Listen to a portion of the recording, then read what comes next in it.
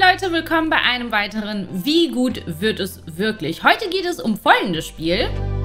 Und zwar um Forspoken. Ich freue mich total, dass ich euch endlich meine letzten Eindrücke vor dem Spiel präsentieren kann. Obwohl ihr euch ja wahrscheinlich auch schon selbst Eindrücke gemacht habt. Denn je nachdem, wann dieses Video erscheint, war die Demo lange Zeit oder ist gerade noch auf der PlayStation 5 verfügbar und noch spielbar. Falls ihr also die Demo schon gespielt habt, sagt mir gerne unten in den Kommentaren, wie ihr das Spiel bisher findet und ob euch die Demo Spaß macht. Ja, ich habe mit Forspoken jetzt schon einige Male zu tun gehabt. So hatten wir bereits vor einem ganzen Jahr ein Interview mit dem Co-Director und mit dem Produzenten hinter Forspoken. Und das Interview findet ihr hier oben rechts in der Ecke, falls euch interessiert, wie das Ganze gestartet ist. Jetzt war ich aber letztens in Hamburg auf einem Event, wo wir ziemlich viel vom Spiel bereits spielen konnten, denn es befindet sich ja auch schon in den letzten Zügen. Forspoken erscheint ja bereits im Januar. Der Titel wird auch ein recht großer Titel für Square Enix werden, der bereits vor sehr, sehr vielen Jahren auf einer E3, glaube ich, angekündigt wurde. Und zwar mit dem Titel Project Athia. Und man wusste damals schon, hey, hier ist ein Team von Final Fantasy hinter und es wird aber ein brandneues Projekt mit einer offenen Welt, mit viel Magie und mit einer ganz, ganz neuen IP, von der noch alle nicht so ganz wussten, was sie erwarten können. Ganz so mysteriös ist das alles aber jetzt nicht mehr, denn wir wissen, dass hier das japanische Entwicklerteam von Luminous Productions mit internationalen SchauspielerInnen zusammenarbeitet. Also es ist so eine Art japanisch-amerikanische Co-Produktion. Dazu gestalten sie eine offene Welt mit einem fast ausschließlich weiblichen Cast, der hauseigenen Luminous Engine, die zum Ziel hat, Kunst und Technik zu verbinden und über 100 Magiesprüche, die der Protagonistin Frey Holland zur Verfügung stehen. Ob Ihnen das gelungen ist und wie wir das Spiel nach drei sehr ausgiebigen Spielstunden bewerten, dazu kommen wir gleich. Zunächst einmal, auch bei der Preview-Session dieses Mal war, wie bereits in dem Interview, was ich erwähnt hatte, der Co-Director Takefumi Terada und der Produzent Raui Mitsuni ebenfalls vor Ort. Und sie haben uns ein bisschen was zur Luminous Engine erzählt und auch zu dem Gameplay der offenen Welt und dem magischen Parcoursystem, das hier sehr stark im Fokus steht und wie ich finde auch das Highlight des Spiels darstellt. Tedada hat bei der Präsentation vor Ort zum Beispiel betont, dass die hauseigene Engine die Ladezeiten und VFX für den magischen Parcours und die Sprüche überhaupt erst ermöglicht hat. Und diese Engine, die gucken wir uns doch jetzt einmal zusammen genauer an. Technik und Aussehen. Kennt ihr das, wenn ein Spiel fast perfekt aussieht und dann seht ihr euch die Haare an und denkt euch so, warum sehen die eigentlich immer noch aus wie bei Sims 3? Naja, vielleicht dachte ich es mir hier bei dieser Anspiel-Session sehr oft. Aber zugegebenermaßen, das denke ich eben auch bei der Unreal Engine. Dadurch, dass die magische Welt, Athia, die Charaktere mit langen Capes, kreativen Outfits und generell gerne mit langen Haaren und Gewändern ausstattet, was ja erstmal nichts Schlechtes ist, sind mir diese Sachen vielleicht deshalb auch etwas öfter negativ aufgefallen. Gleiches gilt für die Kamerafahrt und die Fokussierung der Gegner. Die Kamera ist manchmal etwas so abgefahren wie die Sprüche zwischen der Protagonistin Frey und ihrem Armband Reif. Und während man die Sprüche lustigerweise beeinflussen kann, indem man sie im Menü auf Selten stellt, so kann man die Kamera nicht ganz so gut beeinflussen. Durch die dynamischen, gelungenen und spaßigen Kämpfe, keine Sorge zu den ganzen positiven Sachen, komme ich gleich auch noch, muss die Protagonistin eben oft herumwirbeln. Und leider versteht die Kamera nicht, dass die Gegner dabei trotzdem das Wichtigste sind. Dass die Kamera sich hier mitdreht und dabei ab und zu an ungünstigen Winkeln stehen bleibt, war für mich aber das kleinste Problem. Viel nerviger war es, dass die Gegner dadurch nicht mehr anfokussiert werden konnten. Generell war der Fokus ein kleines Problem.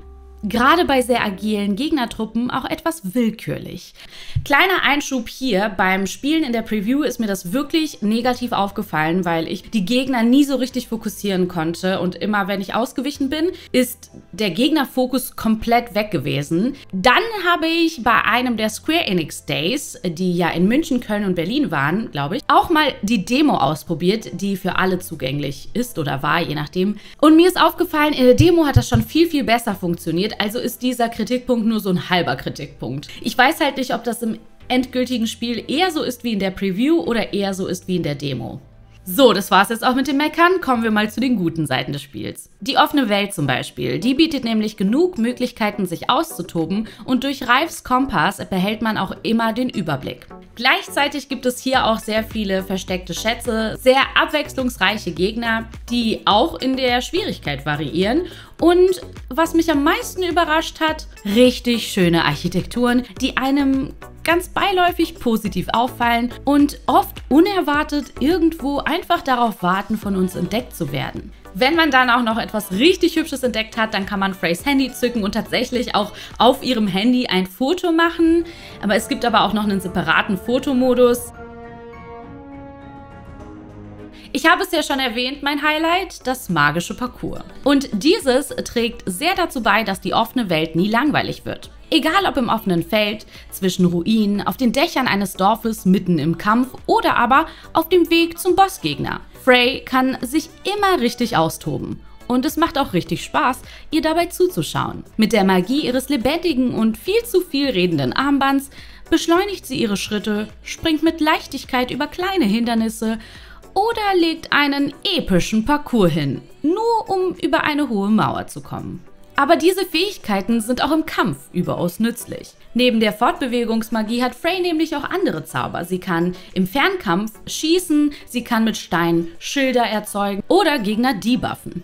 Es gibt offensive, defensive Zauber und Zauber zur Unterstützung. Das einfache Draufhämmern, bis ein Dreieck für den Final Blow über dem Gegner erscheint, reicht hier bei weitem nicht aus. Eure Support-Spells müssen sich erst einmal aufladen, indem ihr normale Zauber benutzt. Hiermit könnt ihr dann mehrere Gegner gleichzeitig verletzen oder bewegungsunfähig machen. Das von mir gerade erwähnte Dreieck ist dann natürlich auch noch diese starke Attacke, die erst aufgeladen werden muss und dann auch nicht ganz so lange wirkt. Dadurch werden Timing und Position extrem wichtig. Wollt ihr es aber bis dahin durchhalten, so müsst ihr erstmal lernen, in Echtzeitkämpfen auf Distanz zu gehen und von einer mittleren bis weiten Distanz aus anzugreifen. Das ist ganz schön ungewohnt und ich habe sehr oft gelesen, dass Leute das auch als Kritikpunkt geäußert haben.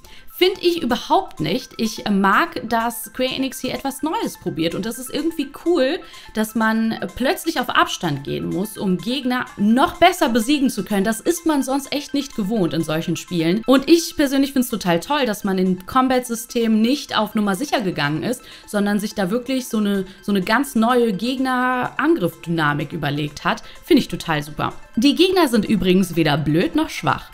Auch wenn die Schwierigkeit je nach Gegnertyp ganz schön variiert, sie zwingen euch immer wieder dazu, in Bewegung zu bleiben und eure Ausweich- und Konterfähigkeiten so häufig wie möglich einzusetzen. Dazu nutzt ihr übrigens auch eure Umgebung. Und das kann, wenn man sich einmal reingefühlt hat, ganz schön cool aussehen und im besten Falle wie eine gut einstudierte Choreografie wirken. Die Betonung liegt hier auf, wenn man sich erstmal reingefuchst hat. Vor allem, wenn ihr gerade irgendwie ein anderes Hack and Slay oder Action Game hinter euch habt, kann diese Eingewöhnungszeit sehr nervig wirken, weil, wie gesagt, das Kampfsystem wirkt doch ganz schön anders und ungewohnt. Aber ich meine, wenn die Leute einem Kampfsystem wie Dark Souls eine Chance geben können, dann können sie das bei Forspoken sicherlich auch. Und ich will das auch gar nicht so auf ein Podest stellen. Es war jetzt nicht so krass innovativ. Aber von den sehr vielen magischen Zaubersprüchen habe ich nur eine Handvoll gesehen. Was vielleicht einfach generell an unserer Zeit lag, die wir dort hatten, um alles auszuprobieren. Wir hatten insgesamt drei Magiesysteme und ich hatte nicht so sehr das Gefühl, dass die sich ultra voneinander unterschieden haben. Bis auf diese besonders starken Attacken, die waren schon unterschiedlich ausgeprägt und natürlich gab es auch so eine Art Schere-Stein-Papier-System, dass Stein zum Beispiel gegen fliegende Gegner oder Feuer gegen Gegner auf der Erde besonders effektiv waren. Ob das jetzt so stimmt, weiß ich gerade nicht mehr. Aber ihr wisst, was ich meine. Und noch ein wenig mehr meckern muss ich leider jetzt doch. Und zwar in einer bestimmten Situation, in der man schleichen musste. Ganz ehrlich, ich fand es gar nicht so schlimm, wie ich es jetzt erst klingen lasse, weil ich Schleichpassagen oft sehr schnell sehr lästig finde. Aber in diesem Spiel waren das keine richtigen Schleichpassagen und das fand ich auch nicht gut. Meistens wartet ihr einfach in einer Cutscene, in der ihr euch eh nicht bewegen könnt, darauf, dass der Gegner sich ganz langsam umdreht und weggeht. Und dann watschelt ihr, gehockt mit einem NPC, ebenfalls ganz langsam hinterher. Und schon beginnt die nächste Szene. Und dann habt ihr euch irgendwann erfolgreich vorbeigeschlichen. Why would you do that? Geschichte, Charaktere und Inszenierung. Ähnlich wie beim Gameplay in der offenen Welt und beim Magie-Parcours-System hat mir auch die Geschichte ziemlich viel Spaß gemacht. Dass die deutsche Synchro hier eher nervenaufreibend war und so wirkt, als hätte ein Boomer versucht, die Gen Z zu beeindrucken, das ignoriere ich jetzt einfach mal. Schließlich kann es auf Englisch ja wieder ganz anders wirken und vielleicht ist das ja eh Geschmackssache. Ich bin etwas streng, man kann trotzdem Spaß haben, man gewöhnt sich auch recht schnell daran. Und die Dynamik zwischen Frey und Ralph kann ich in dieser ganzen Geschichte auch total verstehen. Leider wirkt es manchmal so, als hätte man versucht, Nier und Grimoire Weiß aus Nier Replicant nebeneinander zu packen und diese Dynamik so ein bisschen nachzuahmen. Ja, aber dem gegenüber steht ein richtig toller Cast. Und ich weiß, es gibt sehr viele Kommentare, die ich zu diesem Thema gelesen habe, die alle so mit juckt doch keinen anfangen. Und ganz ehrlich, doch als Frau juckt mich das, dass wir nicht so viele Frauencharaktere haben. Ich finde es richtig toll, einen fast ausschließlich weiblichen Cast zu sehen. Ich finde, es nimmt der Geschichte überhaupt nichts und wirkt tatsächlich einfach sehr erfrischend, weil die Perspektive sehr shiftet. Ein berechtigter Kritikpunkt ist die Frage danach, ob so viele Frauen auch am Skript gearbeitet haben und hinter den Kulissen auch in der Director-Position zum Beispiel standen. Aber die Idee, diesen Schritt zu machen und äh, den Fokus in der Geschichte selbst auch auf ein matriarchales System beispielsweise zu legen, fand ich total cool. Wir haben hier nicht nur eine Reihe an weiblichen Charakteren, sondern auch an sehr unterschiedlichen Charakteren. Die weibliche Thematik ist aber trotzdem stark im Fokus, denn die ist auch für die Politik von Athia selbst wichtig. Wie gerade gesagt, geht es um ein fiktives Matriarchat, welches mit internen und externen Problemen konfrontiert wird und dadurch eine extrem spannende Thematik aufwirft, an die sich noch niemand vor diesem Spiel getraut hat. Nach drei Kapiteln kann ich auf jeden Fall nicht hundertprozentig beurteilen, wie gut und tiefgreifend die eigentlich alltäglichen Themen behandelt werden. Aber das, was ich bisher gesehen habe, war sympathisch und macht neugierig. Und ja, dazu gehört halt auch, dass die Protagonistin ihre Fingernägel mit Fähigkeiten ausstatten kann. Oder neue Capes im Laufe der Geschichte bekommt, die ebenfalls die Fähigkeiten-Sets abändern und gleichzeitig auch visuell schön aussehen. Auch das Kostümdesign der elitären Gemeinschaft in Athia bekommt von mir ein kleines Shoutout, weil ich das richtig cool fand. Abseits davon und unabhängig vom Geschlecht sind mir alle Charaktere bisher extrem sympathisch erschienen. Wirkt Frey am Anfang noch unnahbar und auch etwas abstoßend, weil ihre Sprüche den Charakter unausbalanciert wirken lassen, so entwickelt sie sich durch die Ereignisse in der Welt doch schnell zu einer vielschichtigen Persönlichkeit. Man konnte richtig sehen, dass es den Entwicklern wichtig war, dass sie einen Wandel durchmacht und ihr die Charaktere aus der Magiewelt ans Herz wachsen. Ich bin mir ziemlich sicher, dass wir hier eine klassische Hero's Journey erwarten können, mit der Frey wahrscheinlich am Ende als eine ganz veränderte Person zurück in die Realität kommt. Aber auch die Motivationen der anderen Charaktere waren sehr verständlich und dreidimensional. Das ist mir schon recht früh sehr positiv aufgefallen, aber auch beim Bosskampf gegen eine der Tantas wurde mein Gefühl dann nochmal bestätigt. Besonders eine der Nebencharaktere ist mir zudem durch ihre extrem gute schauspielerische Leistung schnell ans Herz gewachsen. Ich kann mir vorstellen, dass das mit sehr vielen Nebencharakteren im Spiel passieren wird. Coole und uncoole Extras. Und dann gab es noch ein paar Sachen, die besonders spannend waren. Ich hatte ja schon die Fingernägel erwähnt und auch die Capes, die einiges verändern. Aber auch das Crafting-System ist mir sehr positiv aufgefallen. Ich finde es ehrlich gesagt etwas schwer, ein ähm, nicht langweiliges Crafting-System zu etablieren, was einem dann auch nicht zu viel Zeit von der Hauptgeschichte raubt. Bei Forspoken in den drei Kapiteln, die ich jetzt gespielt habe, kam mir das genau richtig gepaced vor. Also ich hatte nie das Gefühl, dass ich irgendwo stehe und dann eine Stunde irgendwas crafte und dann doppelt so stark irgendwie wieder raus in den Kampf gehe. Im Gegenteil, das ist alles sehr beiläufig passiert und das finde ich gut. Und dann sind mir noch relativ viele Monster aufgefallen, die wirklich sehr stark in der Schwierigkeitsstufe variiert haben.